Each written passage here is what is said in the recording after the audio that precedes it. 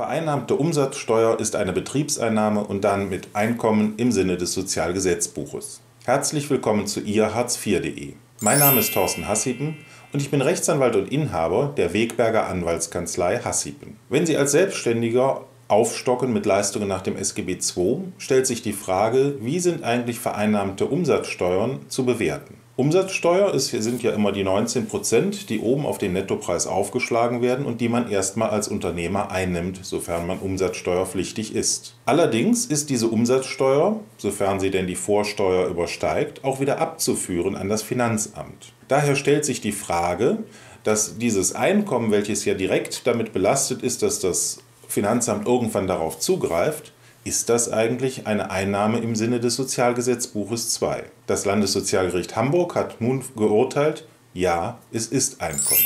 Das bedeutet also, Umsatzsteuer, die in einem Bewilligungszeitraum vereinnahmt wurde, ist als Einkommen zu berücksichtigen und unterliegt den ganz normalen Berechnungen von Einkommen. Das bedeutet, dass in einem bestimmten Zeitraum, wo die Umsatzsteuer eingenommen ist, selbst wenn diese später irgendwann einmal abgeführt werden muss, als Einkommen bestehen bleibt.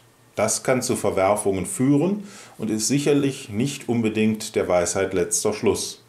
Aber das Gesetz, so das Landessozialgericht in Hamburg, schreibt es so vor. Ich meine, dieses Gesetz wäre dann ein wenig zu überdenken, denn eine Einnahme, die direkt mit einer Abführungspflicht hier an das Finanzamt belastet ist, steht letztlich nicht auf Dauer zur Verfügung. Das gleiche hat ja das Bundessozialgericht auch gesagt für Darlehen, die wieder zurückgezahlt werden müssen, diese seien kein Einkommen. Jetzt ist natürlich die Umsatzsteuer kein Darlehen, was man erhält, und sie berechnet sich auch relativ kompliziert, was nachher übrig bleibt.